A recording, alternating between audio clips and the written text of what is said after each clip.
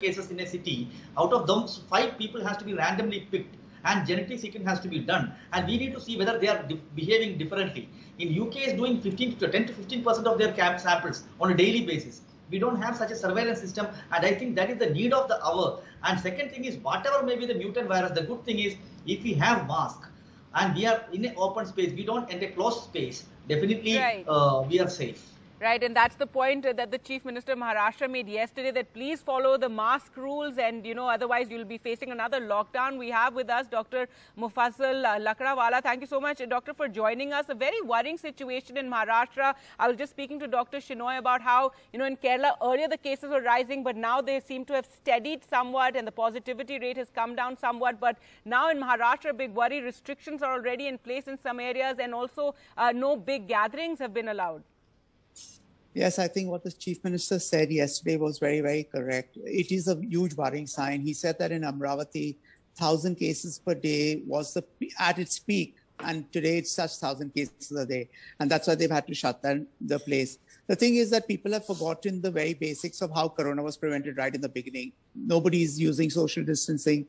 People have let go of their masks. They just this false sense of bravado has cost us very dear, and that's where the chief minister is coming. That don't compel us to shut places down. It's a kind of request with a certain warning attached to it that please, please don't allow us to go back to the dark old days of Corona when we were really struggling. Economy was hit. Now they, uh, they, it's a envious task to be the chief minister of a state which has got the largest numbers because on one hand he has to handle the economy, has to open up the, the cities and the places. At the same time, he has to convince people to keep uh, putting up those precautions when they're out in public, which people have let go. Right, and therefore extraneous things like, you know, social gatherings, religious gatherings, political gatherings, uh, you know, he, he's, he said not to uh, go ahead with that. But, uh, Doctor, also the worry about the variants. What do we know so far about, you know, how prevalent or uh, the variants may be in the state?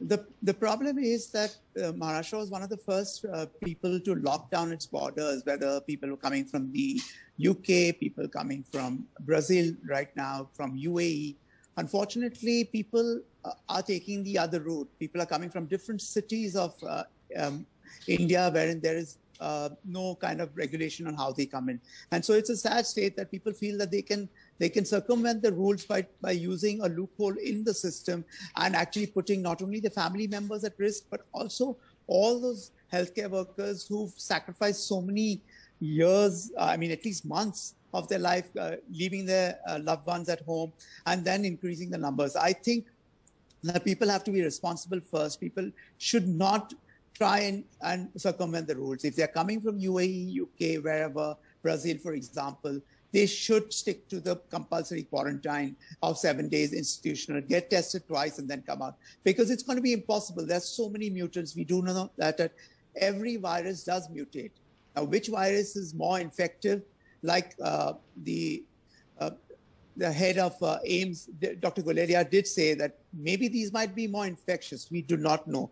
So it's impossible to keep uh, testing various, various strains. We do know that the South Africa strain is not even as effective to the, the vaccine.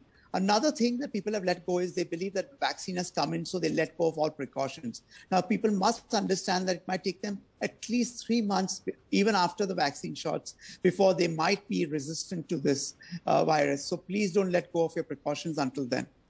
All right, and all the hard work uh, that has been put in by the medical fraternity go to waste. Thank you so much, uh, Dr. Lakdawala and uh, Dr. Shenoy for joining us on the show this morning.